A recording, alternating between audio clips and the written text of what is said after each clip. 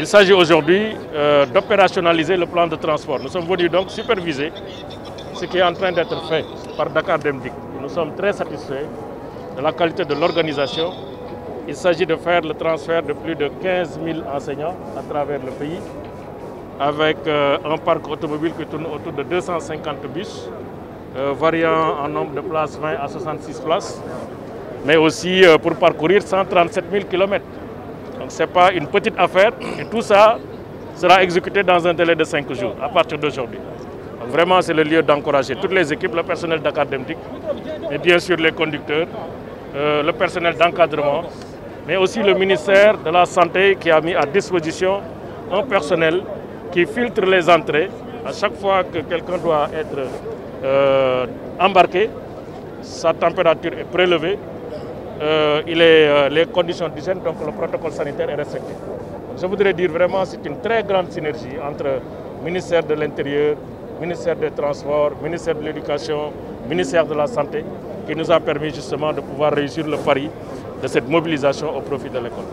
Euh, en principe, plus de 1500 enseignants seront transportés aujourd'hui à travers les différentes destinations, notamment Bambay, euh, Euh, pour ne citer que ces lieux, qui représentent plus ou moins 15% euh, de, de, de, des effectifs à, engager. Donc euh, demain, Inch'Allah, on fera la même opération avec le même suivi, avec le même monitoring pour que l'opération de transport se fasse dans des conditions de sécurité, sécurité sanitaire, sécurité routière, mais aussi dans des conditions de confort permettant aux enseignants d'être performants à la date d'ouverture qui est prévue le 2 juin. C'est eux qui sont les intrants. Ils sont au début et à la fin du processus. Le fait qu'ils répondent à notre appel, euh, je tenais franchement à féliciter l'ensemble des enseignants et également l'ensemble des partenaires de la communauté éducative. En parlant de partenaires de la communauté éducative, nous pensons aux parents d'élèves, nous pensons à la société civile, nous pensons aux syndicats, qu'ils soient du G7 ou de non-G7. Donc tous se sont mobilisés pour qu'on puisse démarrer aujourd'hui. Mais il n'est pas facile de déplacer tout le monde d'un seul coup, en un seul jour.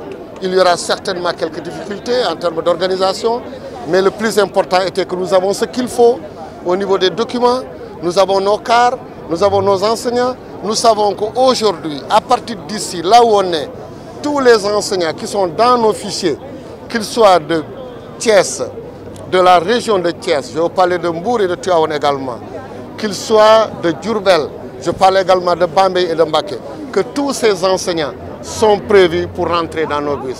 Donc dire que même si au niveau organisationnel, il y en a qui disent que je n'ai pas pu imprimer tel document, je n'ai pas pu avoir tel élément, le nombre de places qui est prévu ne dépasse pas le nombre d'enseignants. Donc pour rassurer tout le monde et vous dire que vous tous, vous allez partir parce qu'on a prévu tout ce qu'il faut en termes d'enseignants qui sont dans les deux régions. Mais également, insister au niveau des parents, dire que les enseignants se sont mobilisés aujourd'hui. Nous savons que les parents se mobilisent depuis très longtemps. Les collectivités locales se mobilisent pour répondre à l'appel du président de la République. Eux aussi également, en tant que parents d'élèves, nous appelons à tous ces parents d'être aussi engagés comme ils le sont jusqu'aujourd'hui. Mais c'est en ce moment également qu'on a besoin d'eux pour que le 2, on puisse démarrer les enseignements apprentissage dans de bonnes conditions.